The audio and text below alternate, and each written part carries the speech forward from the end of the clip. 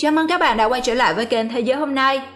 Với sự phát triển của công nghệ, trong tương lai, các robot tự động hóa như trong ngành lắp ráp xe hơi sẽ dần thay thế con người trong lĩnh vực xây dựng.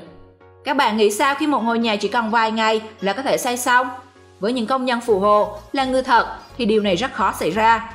Nhưng với một công nhân robot thì có lẽ rất nhiều điều ngạc nhiên dành cho các bạn đấy.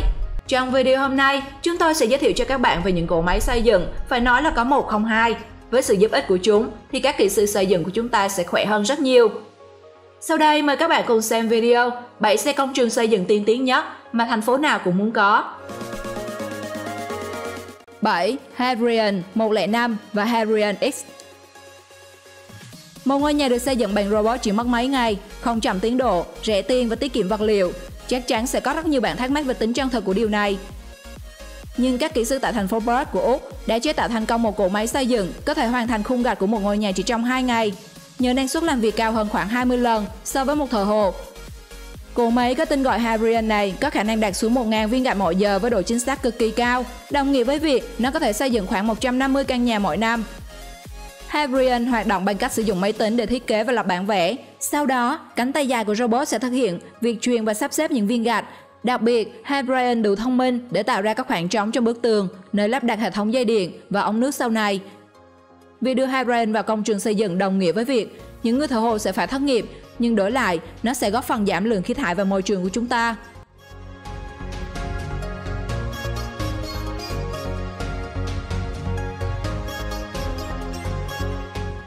Sáu, Big Data theo số liệu của Liên Hiệp Quốc, vào năm 2030, có khoảng 4 tỷ người có mức thu nhập hàng năm dưới 3.000 đô la Mỹ. Có nhu cầu nhà giá rẻ. Qua đó, tổ chức dự án tiên tiến tiết kiệm thế giới đã chế tạo ra máy in 3D cao 12m mang tên Big Delta. Dù có kích thước khá lớn, nhưng cỗ máy này lại dễ dàng vận chuyển và lắp ráp. Bộ khung hỗ trợ cho đầu phun khổng lồ di chuyển theo vòng tròn, từ từ phun nguyên liệu từng lớp, từng lớp một tạo thành những bức tường và các thành phần khác nhau của ngôi nhà. Big Data có thể xây nhà từ bùn, đất sét, nước và sợi tự nhiên giúp giảm thiểu được giá thành, đồng thời không gây ảnh hưởng đến môi trường như xi măng. Hơn hết, nhà đất sét không còn bảo dưỡng nhiều khi bị hư hỏng và nó có thể tồn tại nhiều năm trời bằng cách đắp những lớp đất sét mới vào mặt ngoài của ngôi nhà 5 năm một lần hoặc lâu hơn. Big Data được cho là giải pháp cho vấn đề nhà ở của người nghèo.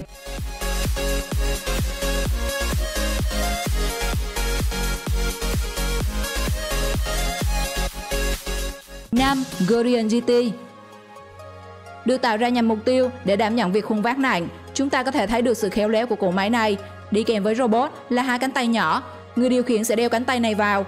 Lúc bấy giờ, mọi hoạt động của robot sẽ thực hiện theo mô phỏng của người điều khiển. Trên đầu của Gorian GT được trang bị một camera để truyền video đến chiếc kính mà người điều khiển đeo nhằm thao tác chính xác hơn. Nhờ sở hữu bộ phận phản hồi lực nên người điều khiển có thể cảm nhận được phần nào khối lượng của vật mà robot đang nâng.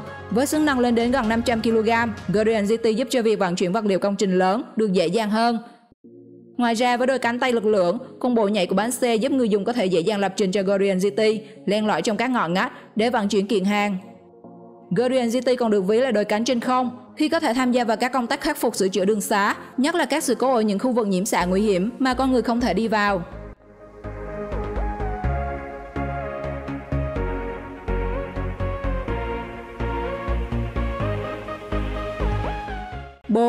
TBM S867 Hệ thống tàu điện ngầm vận chuyển hàng triệu lượt khách mỗi ngày, nhưng các bạn có thắc mắc làm sao mà người ta có thể đào được những đường hầm như vậy?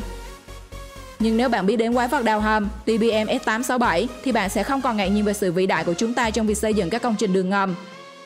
Cụ máy đào hầm TBM giống máy khoan hình trụ nằm ngang có đường kính khoảng 12m và dài khoảng 100m.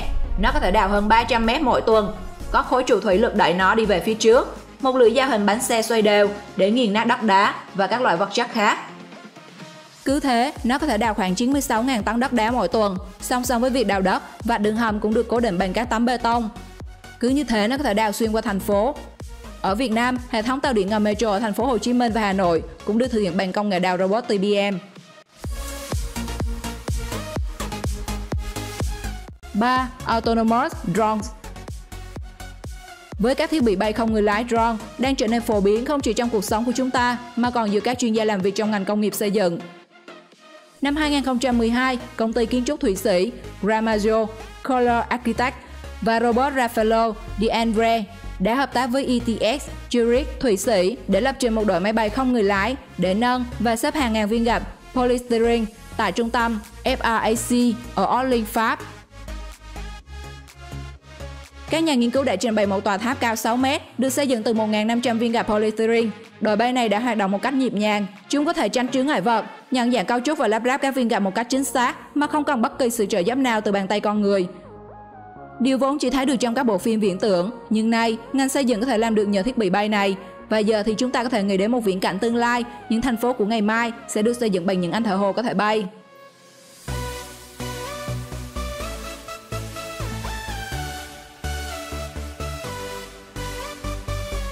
2. MIT DCB Chưa có thời đại nào mà việc xây nhà lại diễn ra một cách nhanh chóng và gọn nhẹ như hiện nay.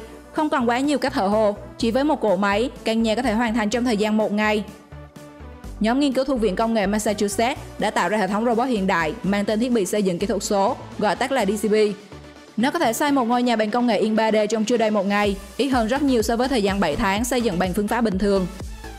DCB chạy bằng pin năng lượng mặt trời, sử dụng cánh tay chuyên động để phun khung bọt cách nhiệt lên mặt đất, sau đó đổ đầy xi măng vào. MIT DCB có thể xây bức tường đường kính 15m, cao 3m chỉ trong 14 tiếng. Ngoài ra, nó còn được thêm vào một chiếc gầu xúc đất để robot có thể tự săn lắp bề mặt hay thu nhặt vật liệu xung quanh. Với khả năng dùng pin mặt trời, cỗ máy này có thể vận hành ở các nước đang phát triển và khu vực thảm họa khi nguồn điện và nhiên liệu không có sẵn.